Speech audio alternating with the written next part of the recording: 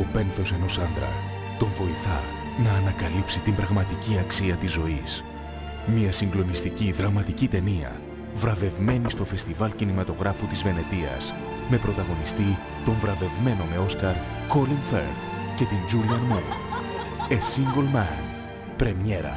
Κυριακή 3 Απριλίου στις 9 το βράδυ στην LTV.